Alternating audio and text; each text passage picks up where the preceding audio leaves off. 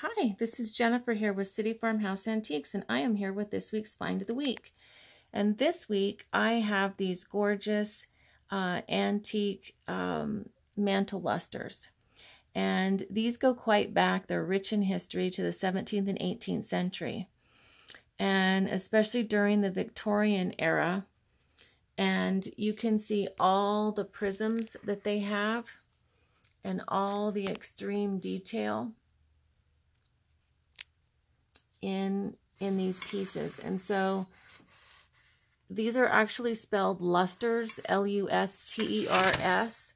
or they can also be spelled lustres, L-U-S-T-R-E-S. So they're found both ways, but these would have typically stood, some of them are, they're very in height. So they can be anywhere from 6 inches to 16, well, probably 14, 15, 16 inches tall. They can be huge. And they can be made from all kinds of different colored glass. Red was the most common. Blue, the cobalt blue is the rarest and hardest to find. I have a set of those coming.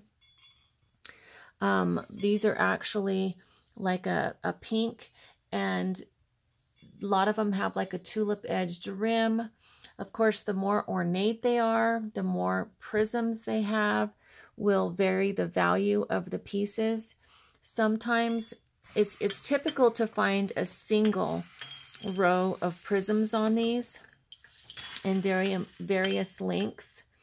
Um, a more rarer find would be to have like a second level of prisms coming off, a two-layered prisms, and some can be found with as many as three to five levels of prisms coming out. And so these are antique candle holders is really what they are. And so the candle would have gone inside here, rested in here. And of course the whole theory is, is that the more prisms you have and the cutouts in the glass, the more light that's going to illuminate from the candle holder. And so during the Victorian period, I mean, anyone who was anyone, these were considered a a status of wealth owned at least one pair of these. And they would sit on the table or sit on the mantle and be used as a decoration or, of course, to put candles in. Um, and people collect these still today. Um, there were many makers. Moser was probably the most famous maker um, and has the most valuable of the um, collectible lusters today but uh, Bohemian lusters are are are um, still very sought after, and a lot of them were made uh, in Bohemia. And so these you can see are cut to clear. This is a green a green piece. You can see it a little better there. But you can see how the glass is cut to clear. There you can see it a little better. You can see the gold gild. A lot of them will be decorated with gold gild along the scalloped edges, along the top with banding. And this is cut to clear. So what this means is that these had to be made a little bit thicker.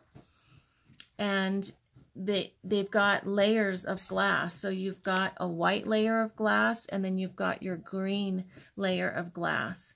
And then they would etch, they would etch all through there um, so that you, again, cut to clear to, to show that clear colored glass underneath.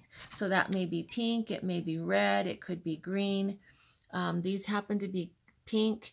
And then, of course, you'd have, here's more of a gold gild pattern on this side here.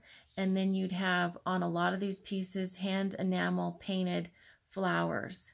But you can see the attention to detail on all of these pieces. Um, on the designs with the florals and all of that. Uh, sometimes you can tell the more um, the more modern pieces are going to be thicker, thicker glass. Let's see if I can get a close-up of this and you can see the hand painting on here. And all of the gold gild on, on this pink pair. And you can see that it's got multiple layers of cut to clear glass in different colors.